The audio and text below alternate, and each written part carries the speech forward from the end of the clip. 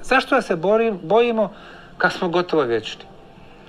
Ali, gotovo znači da smo nastali i da ćemo u jednom momentu nestati kao individualna svijest. Znamo kad smo nastali, kad ćemo nestati, kad prođemo kroz sva ta iskustva i vraćamo se u taj okean kosmičke svijesti ili kreatora ili Boga. Vratit ćemo se.